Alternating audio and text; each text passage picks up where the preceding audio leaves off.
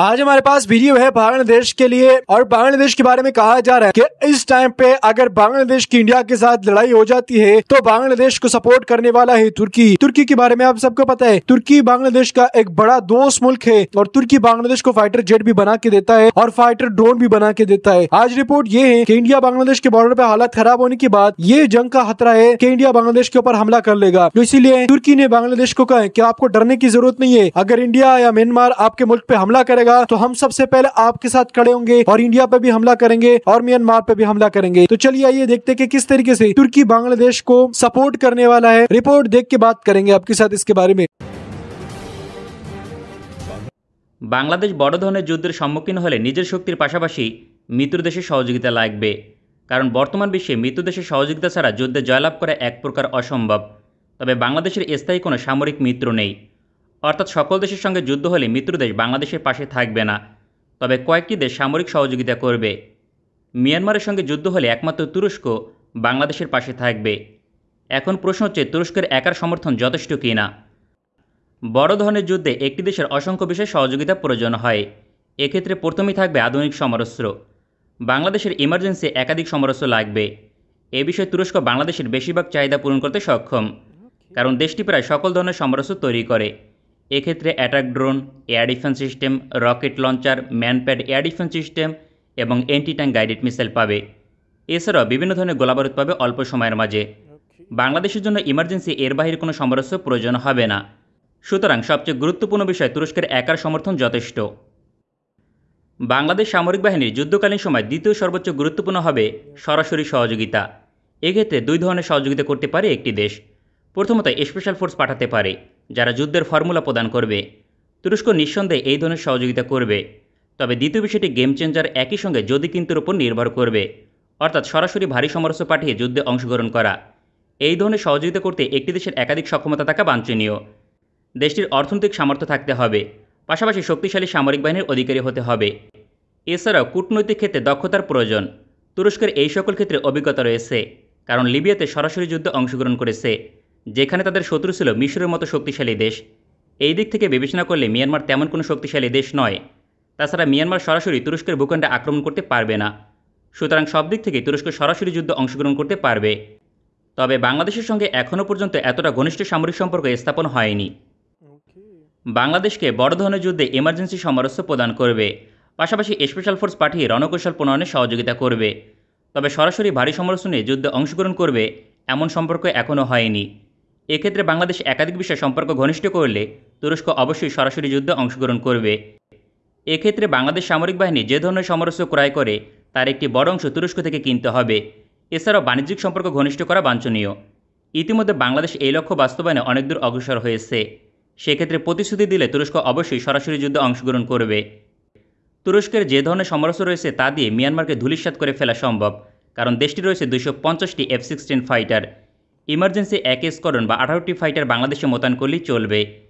Myanmar বিমান বাহিনী সকল যুদ্ধবিমানকে পরাজিত করতে সক্ষম আঠারোটি এফ সিক্সটিন ফাইটার।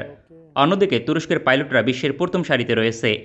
এছাড়াও এই যুদ্ধবিমান দিয়ে মিয়ানমারের নেভাল ব্লক ভেঙে ফেলা সম্ভব কারণ আধুনিক লং রেঞ্জের ক্রুজ মিসাইল অপারেট করে। মিয়ানমার নৌবাহিনীর যুদ্ধজাহাজ কোনোভাবে সোম ক্রুজ মিসাইলকে মোকাবেলা করতে পারবে না যে কারণে নেভাল ব্লক আরোপ করা অসম্ভব। সুতরাং বাংলাদেশের বাণিজ্যিক পথ সচল থাকবে। এছাড়াও মিয়ানমার সহজে ব্যালিস্টিক মিসাইল দিয়ে হামলা করতে পারবে না। কারণ যে অঞ্চল থেকে ব্যালিস্টিক মিসাইল হামলা করবে, ওই অঞ্চলে বিমান হামলা করবে এফ সিক্সটিন ফাইটার এক কথায়, তুরস্কের অতিরিক্ত আর কোনো সহযোগিতা প্রয়োজন হবে না। একমাত্র আঠারোটি এফ সিক্সটিন ফাইটার বাংলাদেশের জন্য যথেষ্ট। তুরস্ক তার ঘনিষ্ঠ মিত্রদেশে যুদ্ধবিমান মোতায়েন করে। দু হাজার বিশ সালে নাগান্য কারাবাগ যুদ্ধে আজারবাইজানকে সহযোগিতা করে তুরস্কের সামরিক বাহিনী। এই সময় অন্তত আটটি এফ সিক্সটিন ফাইটার মোতায়েন করেছিল, তবে হামলা করার প্রয়োজন হয়নি। তবে আকাশপথে সুরক্ষা নিশ্চিত করেছে। সুতরাং বাংলাদেশের মতো বিশাল সমরস্য বাজার ভবিষ্যতে নিজেদের কবজায় রাখতে তুরস্ক অবশ্যই সরাসরি যুদ্ধে অংশগ্রহণ করবে। এক্ষেত্রে দেশটি বছরে অন্তত পাঁচশো মিলিয়ন ডলারের সমরস্য বিক্রি করতে পারবে। মিয়ানমারকে পরাজিত করার জন্য এক স্কোরন এফ সিক্সটিন ফাইটার বাংলাদেশের জন্য যথেষ্ট। অন্যদিকে বাংলাদেশ সামরিক বাহিনীর যে সক্ষমতা রয়েছে তা দিয়ে মিয়ানমারকে মোকাবেলা করা সম্ভব। একমাত্র বিমান বাহিনীর সাপোর্ট প্রয়োজন ছিল, যা তুরস্ক প্রদান করলেই চলবে। সুতরাং একমাত্র তুরস্কের সহযোগিতা পেলে বাংলাদেশ যুদ্ধে জয়লাভ করবে। তবে মিয়ানমারের পক্ষে একাধিক দেশ সরাসরি অংশগ্রহণ করতে পারে। বিশেষ করে রাশিয়া অতিরিক্ত যুদ্ধবিমান এবং সাবমেরিনের মতো সমরস্য দিয়ে সহযোগিতা করতে পারে। এক্ষেত্রে বাংলাদেশ বড় ধরনের চ্যালেঞ্জের সম্মুখীন হবে। তবে তুরস্কের নিকট বিকল্প সকল ধরনের সমরস্ত্র রয়েছে, কারণ দেশটির নিকট রয়েছে বিশ্বমানের সাবমেরিন, এছাড়াও শক্তিশালী সমরস্ত্র। তবে শেষ পর্যন্ত তুরস্ক শুধুমাত্র বিমান বাহিনীর সাপোর্ট প্রদান করলেই বাংলাদেশ বড় ধরনের ক্ষতি ছাড়াই জয়লাভ করবে। অথচ বাংলাদেশের আর্থিক সক্ষমতা অনুযায়ী এক স্কোডন এফ সিক্সটিন ফাইটার ক্রয় করা সম্ভব ছিল। মাত্র দুই দশমিক দুই বিলিয়ন ডলার ব্যয় করলে বাংলাদেশ সহজেই এক স্কোডন যুদ্ধ বিমান পেত। দুই হাজার উনিশ সালে যুক্তরাষ্ট্রে এফ সিক্সটিন ফাইটার প্রস্তাব দিয়েছিল। ওই সময় অর্ডার করলে দুই হাজার তেইশ সালে শুরুতে ডেলিভারি পেত।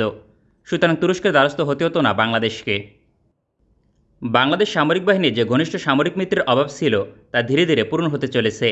এক্ষেত্রে তুরস্ক এই মুহূর্তে একমাত্র মিয়ানমারের বিপক্ষে সহযোগিতা করবে। ভারতের বিরুদ্ধে নয়।